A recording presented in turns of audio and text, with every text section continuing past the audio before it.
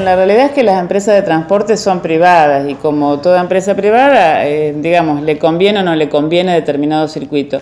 En ese sentido, el gobierno de la provincia de Santa Fe hace años que tiene establecido el medio boleto, que eso, digamos, ayuda a, sobre todo, no sobre todo, sino a los estudiantes este, a poder eh, pagar menos y, ese esfuerzo, digamos, de inversión en el transporte público, bueno, es lo que puede hacer el gobierno provincial si, si lo tomamos desde ese lugar. Ahora, eh, también hay que entender que hay circuitos que nosotros sabemos que son necesarios, pero a las empresas no les cierran los números por la cantidad de este, personas que viajan. Es una realidad. Este proyecto acá regional, ¿le cerraría alguna empresa privada para tomar esos recorridos? Por el momento y por los reclamos que nosotros vemos que todos los años entran estos reclamos, que los entendemos como necesarios, pero que muchas veces no son posibles por esto que decimos que las empresas no, digamos, no le cierran los números cuando los pasajeros no son el número necesario para poder este, solventar los gastos que implica ese, movimiento, ¿no? ese circuito.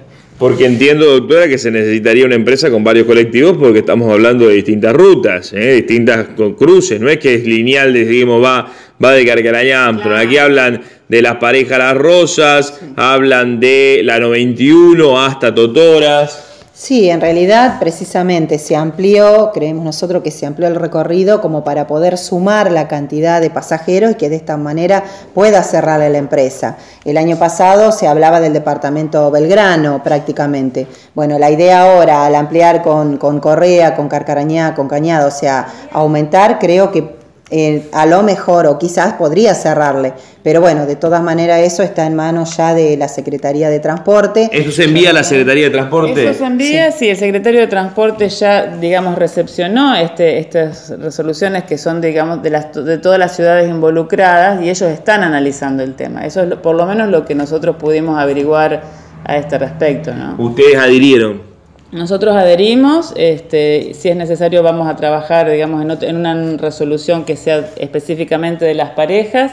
Sí creo que es bueno mencionar el hecho de la repavimentación, que, digamos eh, justamente de la Ruta 9 que hace todo el circuito eh, Totoras, Cerodino. Eh, bueno, eso también es, válido decirlo porque ayuda, es un paso más que a, a lo mejor a las empresas también les resulta interesante porque al estar repavimentado, este, las condiciones son otras y bueno, eso seguramente también va, a impulsar a que, a que las empresas a lo mejor hagan el esfuerzo de hacer ese recorrido.